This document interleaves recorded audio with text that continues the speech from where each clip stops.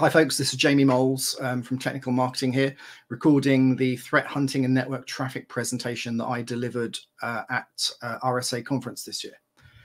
So, um, what is the, the, the things that we're going to go through in this presentation are um, the state of the game.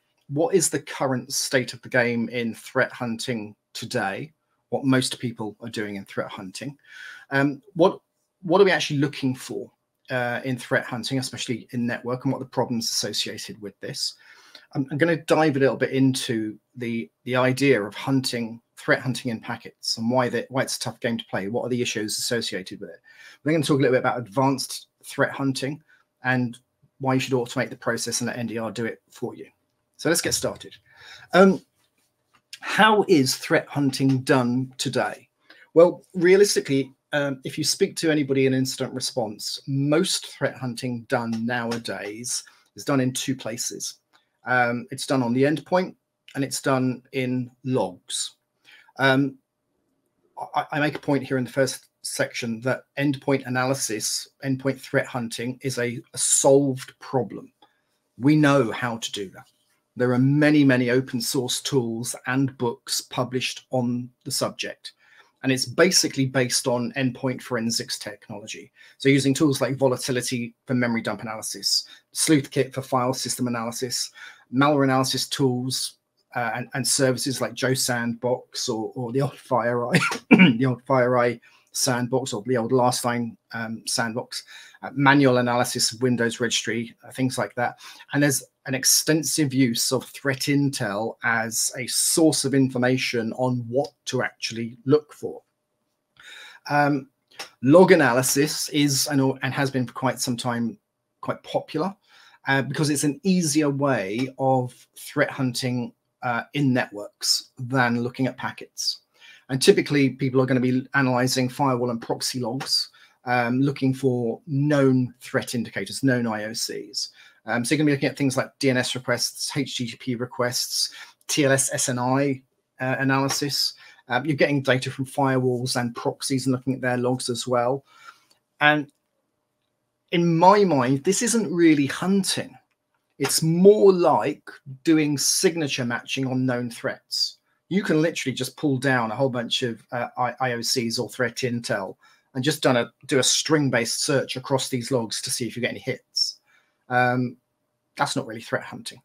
And this is mostly done on the perimeter, hence the firewall and proxy uh, side of things, due to scaling issues.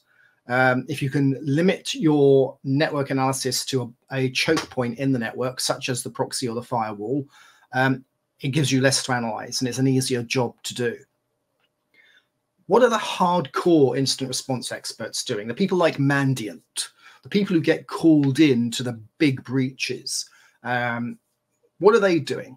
Um, well, the first thing guys like that tend to do is deploy packet capture sensors into the assumed to be compromised network. And they're doing hypothetical analysis of data. What that means is um, all of the information on the previous things, the threat intel that goes into endpoint analysis and log analysis, these are the guys who are creating that information. So they're going into a environment where they don't have any threat intel or IOCs to work with. They have to find them themselves. Um, this type of hunting is done inside the network perimeter. Um, and it, it, it, they're targeting reconnaissance, lateral movement, and service exploitation in particular because they're the things that are probably the easiest find in the network, and they're going to be the quickest indicator of a bad guy being present.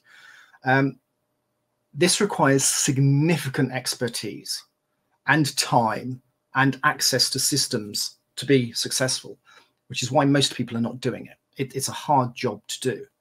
And that's the way things are today. Um, if we are going to do threat hunting in the network, what should we be looking for? Well, here's four protocols uh, uh, for you protocols that span the perimeter and can be seen on the inside of the network as well. DNS, HTTP, SSL, TLS, and FTP for file transfers. There's a whole bunch of things that can be looked for within these protocols. DNS, you want to analyze the queries to help find DGA and C2 servers and data exfil over DNS. Um, HTTP monitoring will uh, reveal malicious URLs, malware distribution points, and suspicious data exfil activities. SSL TLS is a bit harder because it's encrypted, but you can do encrypted traffic analytics to inspect the traffic um, to find malware traffic, C2 comms, and data exfil. And FTP is used for file transfers. Looking for uh, monitoring FTP sessions can reveal unauthorized data access or data exfil attempts. On the right hand side, you can see some of the sample IOCs that you'll get from threat hunting that will typically um, help highlight these issues, like domains with high entropy, unusual user agent strings, um, unexpected increases in encrypted traffic volumes and bulk data transfers, etc. There's a number of things that you can look for on the perimeter to start network threat hunting. Um, there are other things, though, that you can do on the inside of the network and other protocols that can be trickier to analyze, but can bring quite interesting success and, and quite interesting uh, tactics for finding the bad guys. I'm going to go with one example, the, the protocol SMB. Um, SMB is a file and folder sharing protocol, also known as CIFS, Common Internet File uh, Standard, I think it is. Um, SMB in a Microsoft network in particular um, is also often used in lateral movement. So there's a couple of things that you would want to look for if you were analyzing SMB in a threat hunting context. The first thing is, is there any SMB version 1 usage in the network? You would hope not. It's a deprecated protocol. It's extremely vulnerable to exploitation. Um, and if it is running in a network, then you would want to get rid of that. Um, this is a low hanging fruit. Get rid of that. Take it out of your system and, and, and overnight increase the security posture of that network. Other things that you would want to look for would be abnormal file access patterns. Like, for example, repeated access to files and directories that don't align with the normal operational profile of a specific system.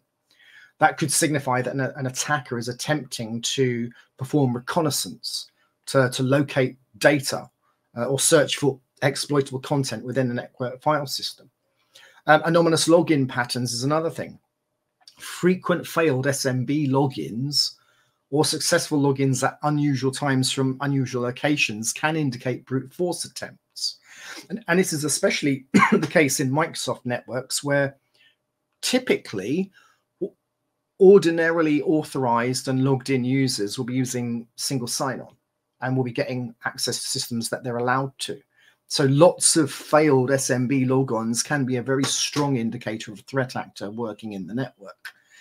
Um, sudden spikes in SMB traffic, um, not linked to regular business operations, could be due to data exfil, or it could be data staging, where the bad guys move chunks of data from one location to another so that they send it out from a single place. Obviously, you can look for things like ransomware signatures, such as file names or extensions associated with ransomware, like .wannacry, .locked, etc. And if you find that, then that's a pretty strong indication that you've got uh, something nasty going on. But also things like unusual SMB command usage. Um, certain SMB commands, and I mean this at the protocol level, this is not users entering commands in the keyboard, but this is the protocol and how it functions as itself. Commands like SMB com tree connect or SMB com write index, um, which are used to connect to shared resources and write data. A lot of these um, commands appearing on the system um, could be misused, could be an indication of a, an attacker attempting to manipulate shared directories or files. The problem is looking for this manually as a human being can be very, very difficult. The skills around this are, are high. Things like sudden spikes in SMB traffic. Well, how are you ever going to know that? Um, this is not the kind of thing that's easy for a human being to analyze, but it's high value when it comes to finding bad actors in the network. Um, one of the other issues is hunting in packets is uh, it's like trying to hunt for fish coming over Niagara Falls. The scale of the problem is just enormous. And when trying to work this out, I, I thought, well, what, how, how would I know what the scale is? Well, as, as an exercise, let's ask ChatGPT. So I said to ChatGPT, on a Windows local area network with 100,000 devices, each using Ethernet adapters of one gigabit um, capacity, what would be the typical volume of traffic traversing the network in a 24 hour period? And we had some basic assumptions, which were an average utilization of 5% over that network adapter's capacity and continuous operation over 24 hours, which let's, let's face it, no device is running for that long. So it's not, not a great calculation, but it, it was interesting. And the calculation you can see on the right hand side there is composed of several parts maximum bandwidth per device, average bandwidth per device at 5% utilization, total bandwidth for 100,000 devices, total data in 24 hours. And the total volume comes out at 54,000 terabits or 54 petabytes, I believe, terabytes, petabytes over a 24 hour period. Um, divide that by three, and let's say you work with um, an eight hour period instead. This is still an enormous amount of traffic to process. You could not reasonably expect human beings to process that kind of data and find bad guys. Not realistically. Um, you couldn't run Wireshark, for example, capture that data and expect to analyze it. It is an absolute nightmare. So, how are you supposed to do this? Um, I mean, what, what do the tools look like when it comes to hunting in packets? Well, on the left-hand side of the screen here, you can see what it looks like when I'm analyzing some HTTP traffic in Wireshark. Um, and on the right-hand side, you can see just some of the books that I have sitting on my desk that uh, I've used over the years to do uh, this kind of work. The Wireshark Network Analysis book, uh, for example, is about three inches thick, but it's the absolute Bible when it comes to learning how to analyze network traffic. Um, I've said time and time again to people who asked about this. This is my tagline at the top here. Threat hunting in the network is like playing hide and seek, but you don't know for certain there's even someone hiding to find. That's what threat hunting in network traffic is like. It's a job that you you want to do, you need to do, um, but you're not necessarily guaranteed success. Um, what are the advanced guys doing nowadays? Well, advanced threat hunting goes way beyond threat intel and IOCs.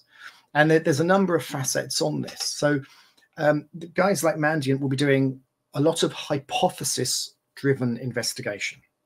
Investigations based on very light knowledge, if any, of a new threat, uh, often brought in on extremely short notice um, and dealing with a high profile threat this is reliant on investigators discovering artifacts themselves based on the likely behaviors and TTPs of threat actors.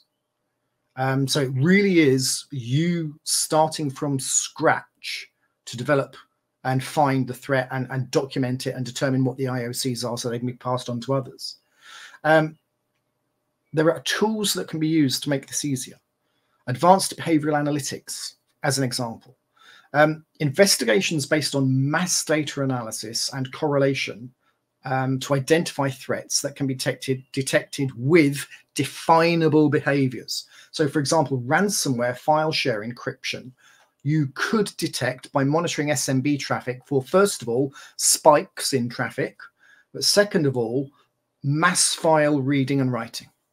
That is that's a behavior I can look for, mass file reading and writing from a device that never normally does that.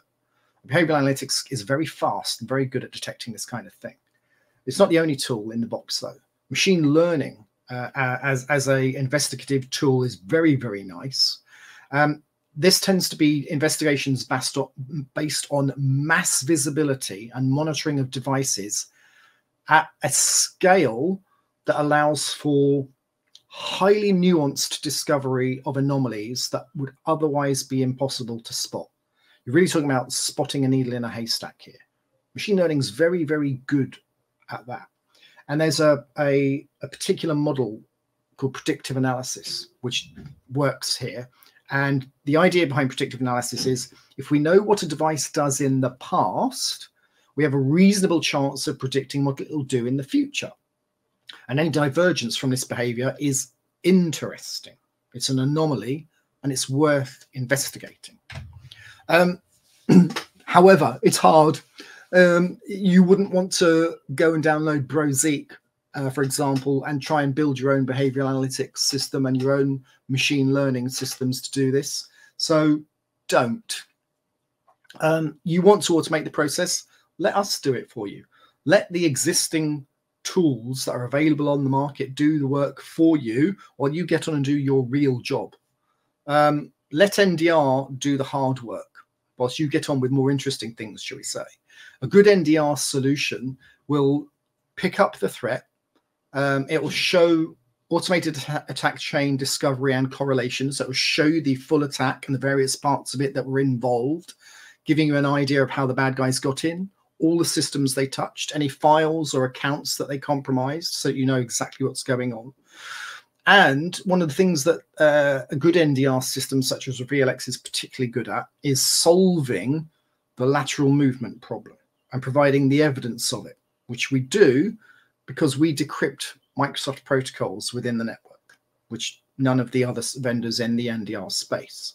The screenshot you can see there that says remote service launch attempt to run a LOLBAS, what we're seeing there is the offending machine, WebDrupal 01, using the MSRPC protocol to launch on Workstation Physician 03 using PowerShell that PowerShell script. So that runs on the remote machine. That's lateral movement. That PowerShell script, when you decrypt it and run it, uh, it's actually the Metasploit uh, Trojan. Don't uh, if you want to go into um, the threat hunting in the network business, it's an interesting thing to do, but it takes up a lot of time and expertise. And um, customers generally have their day job to do. Um, I certainly wouldn't recommend building this yourself when there are vendors such as us that have solved the problem and already know how to do it for you and will maintain and carry on that capability going forward. Um, you want to know a little bit more about ExtraHop? Uh, Gartner Peer Insights, you can see what our customers have said about uh, using ExtraHop. And you can see uh, one of our customers, Home Depot. ExtraHop provides insight that is critical to delivering a seamless and secure experience for our customers and associates. Thank you very much for watching. Um, that was me showing you how to do threat hunting in the network.